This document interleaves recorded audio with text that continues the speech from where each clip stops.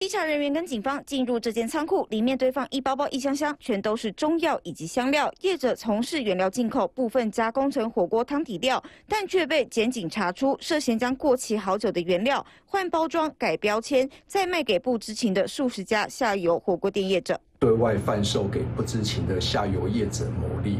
共计获利一百五十四万多元。身穿白色上衣的就是黄姓业者，被抓到改标的商品大约过期二到四年。纯菜有火锅底料八千六百五十三包，来一坨火锅底料三千一百二十七包，以及其他的香料、原料跟粉丝等等，贩售给不知情的下游业者，大赚一百五十四万元。被爆出改标再贩卖，业者仓库本来还有在营运，一看到有人靠近，立刻拉下铁门。二零一四年，鼎王旗下吴老郭被爆出枸杞有致癌农药，让当时的执行长鞠躬道歉，追出来源也是这间公司，当时也附检验合格证明，没想到被验出违规。考量被告已自白犯罪，